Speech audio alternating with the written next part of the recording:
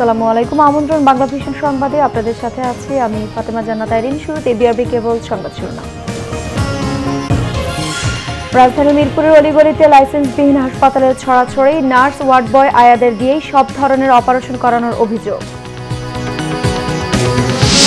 Corona রোধে জনগণের mask পরা নিশ্চিতে জরিমানার কাজ না হলে শাস্তি আরও কঠোর করার নির্দেশ প্রধানমন্ত্রীর। মহাখালীর সাততলা বস্তিতে আগুনে তিন শতাধিক দোকান ও ঘর পুড়ে ছাই, সর্বস্ব হারিয়ে নিঃস্ব বহু পরিবার। প্রাণহানির খবর মেলেনি। দেখছিলেন কেবল, সংবাদ শিরোনাম। এবার বিস্তারিত। বছরের পর বছর ধরে রাজধানীর মিরপুর এলাকার অলিগলির হাসপাতালগুলোতে অস্বাস্থ্যকর পরিবেশে চলছে জটিল, কঠিন অপারেশন। অভিযোগ রয়েছে, এই অপারেশনগুলো করছেন নার্স, ওয়ার্ড বয় ও আয়ারা এদের কোনো কোনোটির লাইসেন্সও নেই। আবার কোনোটির লাইসেন্সের মেয়াদ শেষ হয়েছে দীর্ঘদিন আগে। এসব হাসপাতাল তদারকিতে স্বাস্থ্য অধিদপ্তরের কোনো ভূমিকা দেখা যায়নি। রাজধানীর মানিকদি এলাকার সুরভি হাসপাতাল। মাত্র দুই তিনটি রুমের অপরিচ্ছন্ন এই হাসপাতালেরও লাইসেন্স দিয়েছিল স্বাস্থ্য অধিদপ্তর। কিন্তু সেই লাইসেন্সেরও মেয়াদ শেষ হয়ে গেছে চার বছর আগে। হাসপাতালের কার্যক্রম সম্পর্কে জানা যায় ভবনের মালিকের মুখে। ডেলিভারি হয় আর আপনার এমআর করে মানে অবৈধ এমআর করে এখানে অবৈধভাবে এখানে সব কিছু চলতেছে কাজটা। পাঁচ বছর ধরে টোটাল ভাড়া দিয়ে দেন ওরা আমাদের অনেক হ্যারাসমেন্ট করছে। আমি আর কেস মামলা দিয়া অনেক দৌড়াদৌড়ি করাইছে। এখন আমি আর তো কোনো লোক নাই গার্ডিয়ান নাই। উনি আমরা যতটুকু জানি উনি একজন নার্স তো নার্স হয়ে উনি ডাক্তারের আপনার হচ্ছে আইডেন্টি কার্ড ইউজ করে। এলাকার যত মানে মহিলা আছে অল্প বয়সের মেয়েদের আছে এদেরকে গর্ভপাত করানো হয়। এই হাসপাতালের মালিক পেশায় একজন নার্স কিন্তু নিজের নামের সাথে লেখেন ডাক্তার। সিজার ও ডিএনসির মতো কঠিন অপারেশন করেন নিজের হাতে। কোথাও আপনি কিন্তু একটা ডক্টর আপনার এখানে সার্জারি করছে তার কোনো ধরনের ডকুমেন্টস আপনার কাছে কিন্তু নাই। এটা আমাদের ওই হসপিটালে থেকে প্রত্যেকটা রেজিস্টার আমাদের মেনটেন ঠিক ছিল। এইখানে আসার পরে আমাদের যেহেতু আমাদের খণ্ড খণ্ড হয়ে গেছে তার কারণে আমরা এটা ডকুমেন্টসগুলো রাখতে পারতেছি না। হাসপাতালটিতে ঢুকে দেখা যায় বিছানায় কাতরাচ্ছেন সদ্য সিজার হওয়া এক রোগী। কিন্তু পাশে নেই হাসপাতালের কোনো স্টাফ দীর্ঘ এক ঘণ্টা অপেক্ষার পর ছুটে আসেন হাসপাতালটির মালিক রিনা চৌধুরী। মেয়াদ উত্তীর্ণ লাইসেন্সেও তার নামের আগে ডাক্তার লেখা দেখা যায়। বিষয়টি স্বীকারও করেন তিনি। এটা কিন্তু আমি এমবিবিএস ডাক্তার হিসেবে ডাক্তার কথাটা লিখি নাই। এলএমএফ ডাক্তার ওই হিসেবে। এখন এটা আমার ভুল হয়েছে যে আমি পরে জানলাম যে এটাতে ডাক্তার লেখা যায় না। হাসপাতালের ভর্তি রেজিস্টার থেকে জানা যায় প্রতি মাসে অনেক অপারেশন হয় এখানে। সেগুলো নিজ হাতেই করেন রিনা চৌধুরী। এই মুহূর্তে আমি আছি একটি হাসপাতালের অপারেশন থিয়েটারে এই হাসপাতালের না আছে কোনো লাইসেন্স না আছে ডক্টর না আছে কোনো নার্স, কিন্তু এখানে অহরহ অপারেশন চলে, বিভিন্ন ধরনের অপারেশন। এবং আপনাদেরকে দেখাতে চাই যে এখানে যিনি সবসময় অপারেশন করে থাকেন, তিনি কোনো ডক্টর নন, কিন্তু নিজের নামের আগে ডাক্তার লাগিয়ে তিনি অপারেশনগুলো করে থাকেন। দেখতেই পাচ্ছেন যে এখানে গ্লাভস রয়েছে, সেই গ্লাভসগুলো ব্যবহার করা হয়েছে। সেই, সেগুলোকে শুকিয়ে রাখা হয়েছে, অন্য কোনো অপারেশনের ক্ষেত্রে এই একই গ্লাভস কিন্তু আবার ব্যবহার করা হবে। তো এইরকম অস্বাস্থ্যকর এক পরিবেশের মধ্যে এরকম একটি হাসপাতাল চলছে। রাজধানীতে এরকম অসংখ্য হাসপাতাল চলছে যেগুলির দেখভালের যাদের দায়িত্ব তারা কিন্তু কোনো ধরনের দায়িত্ব পালন করছে না। মিরপুর এক নম্বর এলাকার লতিফা হাসপাতাল। হাসপাতালটির লাইসেন্স দেখতে চাইলে অনেকটা চটে যান এর মালিক রফিকুর রহমান রানা। আপনি যে আমার সামনে মাইকটা রাখলেন ঠিক আছে? আপনি কি আমার ইন্টারভিউ নেওয়ার জন্য আপনি কি আমার কাছ থেকে পারমিশন নিয়েছেন? পরে দেখা যায় দুই সালের পর আর লাইসেন্স নবায়ন হয়নি লতিফা হাসপাতালটির। কিন্তু চিকিৎসা চলে এখানে সব রোগেরই। হয় সব ধরনের অপারেশন, ওয়ার্ড বয় আর আয়া দিয়ে অপারেশন করানোর বিস্তর অভিযোগ রয়েছে এই হাসপাতালটির বিরুদ্ধেও। তার কারণে আমরা এখন পর্যন্ত লাইসেন্সটা পাইনি।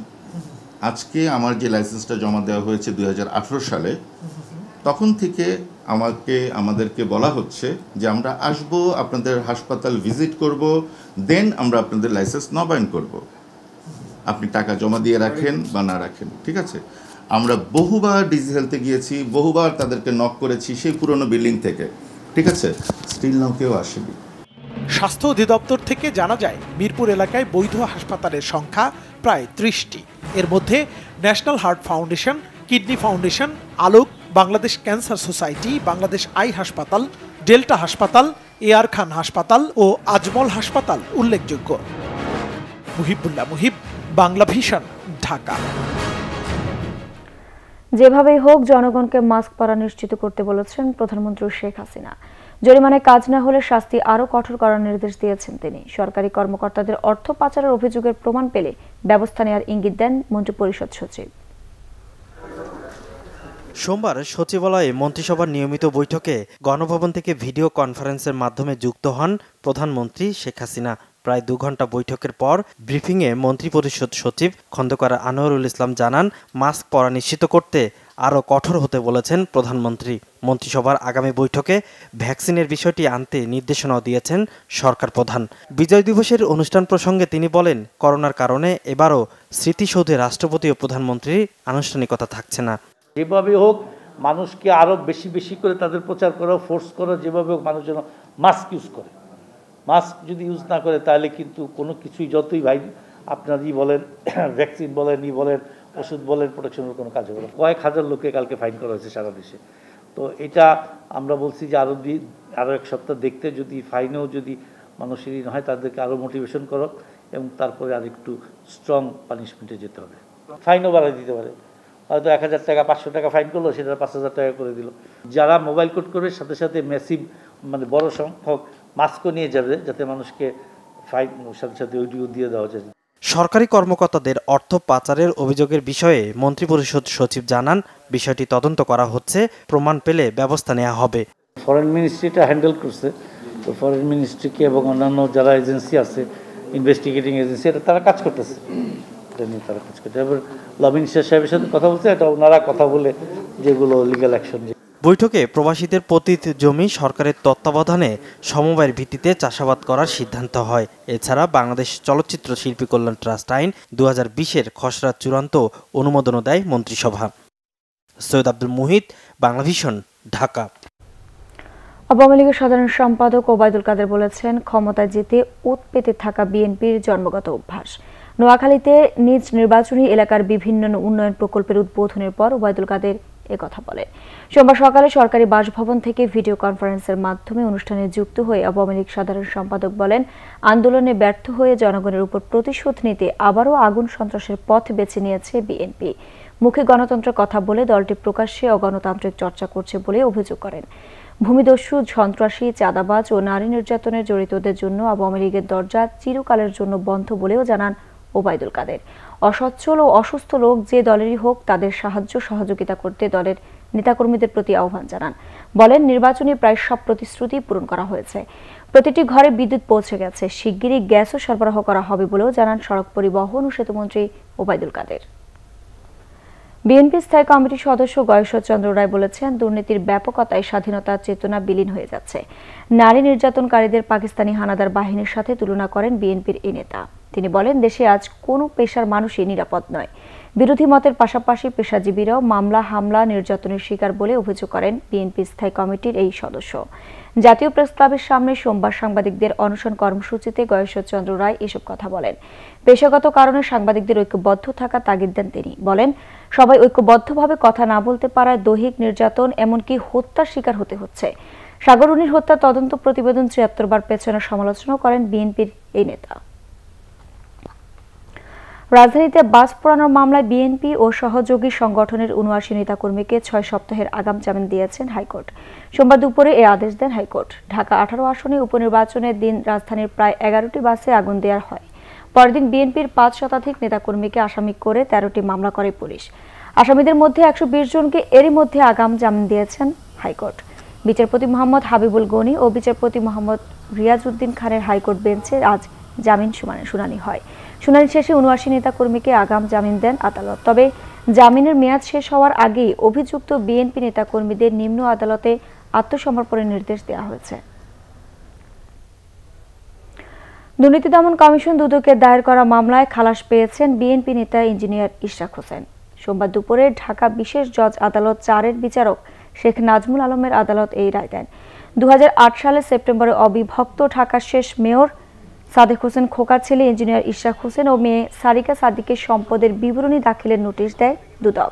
বেঁধে দেওয়ার সময়ের বিবরণী জমা না দেওয়ার অভিযোগে তাদের বিরুদ্ধে রমনা থানায় দুটি মামলা করা হয়। দু সালের ছয় ডিসেম্বর এই মামলার চার্জশিট দাখিল করে দুর্নীতি দমন কমিশন। দু সালের পনেরো জানুয়ারি চার্জ গঠনের মধ্য দিয়ে এই মামলার বিচার শুরু হয়। প্রায় দুই বছরের বিচার কাজ শেষে আজ আলোচিত এই মামলার খালাস পেলেন বিএনপির নেতা ইঞ্জিনিয়ার ইশরাক হোসেন। এ সময় তিনি তাৎক্ষণিক প্রতিক্রিয়া বলেন, আদালতে ন্যায় বিচারের সুবাতাস বইছে। সরকার যতই অপচেষ্টা করুক, বিচার বিভাগকে প্রভাবিত করে এটিকে দলীয় করণ করে রাজনীতিক হাতিয়ার হিসেবে ব্যবহার করার যতই চেষ্টা করুক, ঘুরে ফিরে কিন্তু এখনও বিচার বিভাগ এবং প্রশাসনে এখনও সৎ ন্যায় ন্যায়পরায়ণ মানুষেরা রয়েছেন। বিজ্ঞ আজকে যিনি বিচারক তিনি সৎ এবং ন্যায়পরায়ণ পথেই হেঁটেছেন বলে আমি মনে করতে চাই এবং তিনি সৎ সাহস নিয়ে আজকে এই রায়টি দিয়েছেন। এতে করে আমরা আশাবাদী হতে চাই যে আগামীতে সমস্ত দেশে যে আজকে অপশাসন, দুঃশাসন চলছে, সে সেখান থেকে আমরা উত্তরণ ঘটাতে সক্ষম হব। রাজধানীর বনানীর এফ আর টাওয়ার নির্মাণে ইমারত বিধিমালা লঙ্ঘন এবং নকশায় অনিয়মের মাধ্যমে আঠারো তলা পর্যন্ত বাড়ানোর অভিযোগে করা মামলায় অভিযোগপত্র গঠনের পরবর্তী শুনানি আগামী বছরের একত্রিশ জানুয়ারি ধার্য করেছেন আদালত। বিশেষ জজ আদালতের বিচারক সৈয়দ কামাল হোসেন সোমবার এই আদেশ দেন। মামলা জমির মালিক S M H I Faruk, Rupayan গ্রুপের চেয়ারম্যান লিয়াকত আলী খান মুকুল, রাজুকের তৎকালীন চেয়ারম্যান হুমায়ুন খাদেম সহ পাঁচজনকে আসামি করে দুদক। আদালতে আত্মসমর্পণ করে জামিন আবেদন করেন আসামিরা। আদালতে তাদের জামিন আবেদন একত্রিশ জানুয়ারি পর্যন্ত মঞ্জুর করেন। নকশা অনিয়মের মামলার অন্যতম আসামি হুমায়ুন খাদেম বার্ধক্যজনিত নানা সমস্যা ছাড়াও স্নায়ুরোগ ও ডিমেনসিয়া রোগে ভুগছেন। তাকে সকাল সাড়ে দশটায় মহানগর দায়রা জজ আদালতে নেওয়া হয় অ্যাম্বুলেন্সে করে। চলাফেরায় অক্ষম হুমায়ুন খাদেমকে স্ট্রেচারে শুয়ে আদালত ভবনের তিনতলায় ওঠানো হয়। আইনের প্রতি শ্রদ্ধাশীল থেকে বিরাশি বছর বয়সে শারীরিক অসুস্থতা নিয়েও আদালতে হাজির হন হুমায়ুন খাদেম। সাহেব যিনি রাজ্যের প্রাক্তন চেয়ারম্যান ছিলেন আসলে দীর্ঘদিন অসুস্থ ওনার পার্কিনসন্স হাইপার টেনশন ডায়াবেটিস তারপর হচ্ছে আপনার ওনার ই আছে আপনার পার্কিনসন্স আছে এবং ওনার সার্জারিও আছে এবং আনাবল টু মুভ উনি বিছানায় দীর্ঘদিন শয্যা সে বিছানা প্রাকৃতিক সমস্ত কাজে তার সারতে হয়। আমরা এই গ্রাউন্ডগুলো উল্লেখ করে বিগত দরখাস্ত করেছি যে অপরাপর সকল আসামি জামিনে আসছে জামিনের সুবিধা আমি পেতে পারি আর আমি অসুস্থ মুভ করতে পারি না। সো পলানোর কোনো সম্ভাবনাই নাই। বিভাগীয় স্পেশাল জজ আদালতে এফআর টাওয়ারের মামলাটা আসামির উপস্থিতি এবং চার্জ হিয়ারিংয়ের জন্য ছিল। আসামি পক্ষ চার্জের জন্য সময় চেয়েছে। আর আজকে একজন আসামি আত্মসমর্পণ করেছেন। উনি হলেন রাজুকের সাবেক চেয়ারম্যান হুমায়ুন খাদেম, ওনার জন্য জামিন চেয়েছে। ওনার অসুস্থতার কারণে ওনাকে, আমি যেটা দেখছি আদালতে যে ওনাকে স্ট্রেচারে করে নিয়ে আসছে এবং ওনার অসুস্থতার কারণ দেখে জামিন চেয়েছে। বিজ্ঞ আদালত জামিন প্রদান করেছেন ওনাকে। কী শর্তে জামিন প্রদান রাজধানীর মহাখালীর সাততলা বস্তিতে গতরাতে আগুন লেগে তিনশোরও বেশি দোকান ও ঘর পুড়ে গেছে। সর্বস্ব হারিয়ে নিঃস্ব হয়ে পড়েছে বহু পরিবার। তবে এই ঘটনায় কারও প্রাণহানির খবর পাওয়া যায়নি। মহাখালী সাততলা বস্তির এই মসজিদ মার্কেটে কাপড়, প্লাস্টিকের পণ্য সহ ছোট, বড় বেশ কিছু দোকান ছিল। স্থানীয় সহ আশপাশের অনেকেই এখান থেকে কেনাকাটা করতেন। দোকান ও ছোট ছোট টিনের ঘর মিলিয়ে তিনশোরও বেশি টিনের স্থাপনা ছিল এই মসজিদ মার্কেটে। স্থানীয়রা জানায়, সোমবার রাত পৌনে বারোটার দিকে একটি দোকানে আগুনের সূত্রপাত হয়। মুহূর্তে তার লাগোয়া দোকান ও টিনের ঘরগুলোই ছড়িয়ে পড়ে। বারোটার দিকে আগুন লাগছে।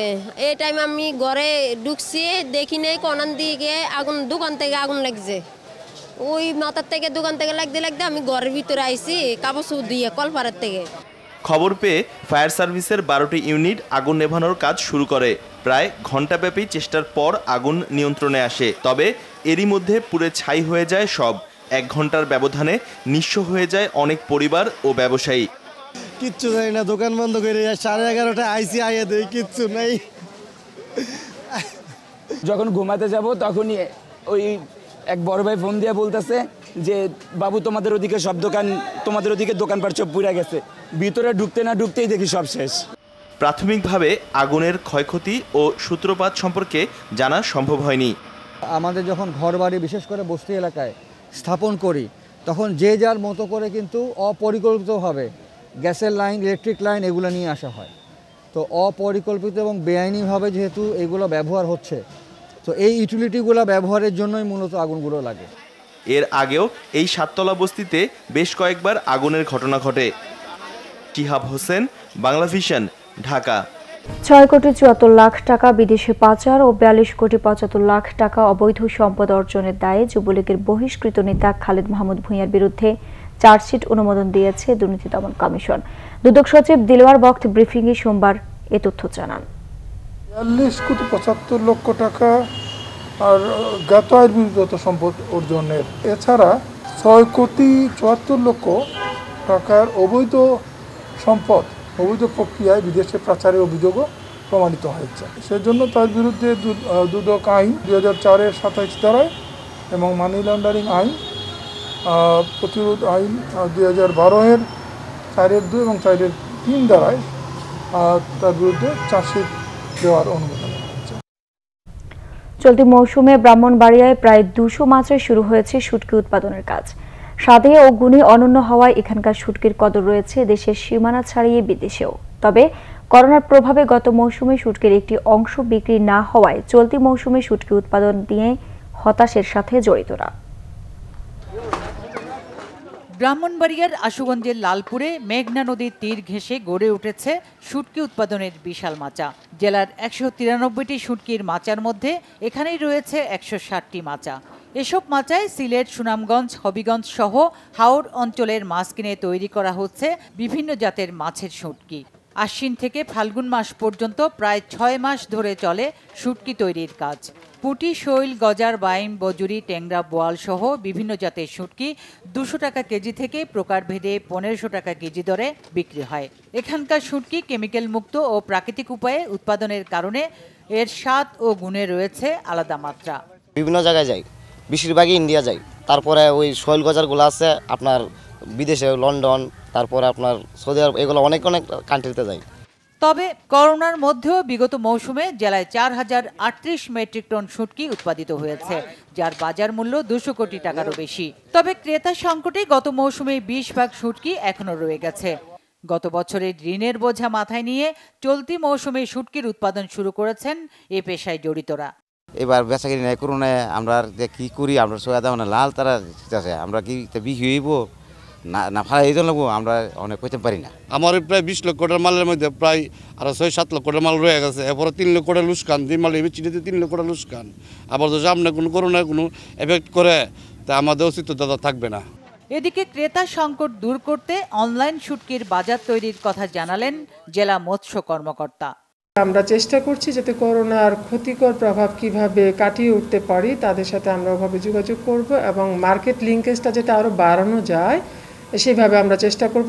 উৎপাদন বাড়ানোর সাথে সাথে ঋণের বেড়াজাল থেকে বেরিয়ে আসবে এ পেশায় জড়িতরা। এমনটাই প্রত্যাশা তাদের। Bangla Vision news desk. এবার ক্লেমন খেলা সংবাদ।